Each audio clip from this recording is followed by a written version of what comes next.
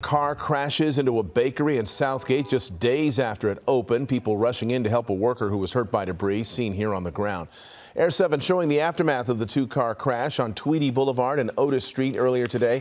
Police say the impact sent one car into the store, saying speed was likely a factor.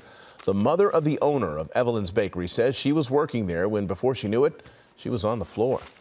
I started preparing the jellos behind the refrigerator and then something, I hear something, I don't know what happened, but when I remember, I stay on the floor and I ran really fast to the corner and I don't know what happened.